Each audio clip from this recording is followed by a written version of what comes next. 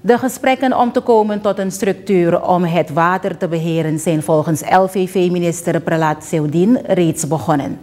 Hij zegt dat het ministerie momenteel bezig is met het definiëren van de waterstaatkundige eenheden.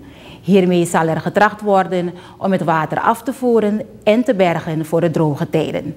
Volgens hem is het in de planning om alle pompen die er liggen te installeren.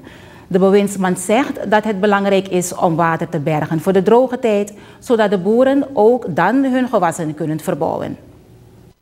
De gesprekken zijn reeds begonnen met een paar organisaties in het veld. Uh, aan de andere agrariërs wil ik meegeven dat wij ook spoedig die andere gebieden zullen aandoen. Met de boeren aan tafel zitten, over de ideeën praten, want vaak weten zij het beter, en, uh, tenminste de waterhuishouding in hun gebied, dan als wij per Maribo daar aankomen. We gaan hun heel nauw erbij betrekken. Het, uiteindelijk zullen zij degene zijn die voor het onderhoud moeten zorg dragen. Dit geef ik mee en ik hoop dat in de, in de gedurende deze regeerperiode wij een uh, goede vorderingen kunnen maken. Collega, collega Noor heeft daar aangegeven.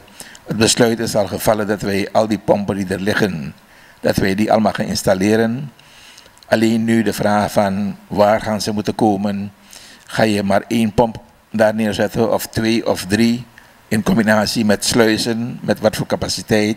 Het zijn allemaal zaken waar er gewerkt moet worden, maar wat ik wil meegeven is dat wij heel serieus ermee begonnen zijn.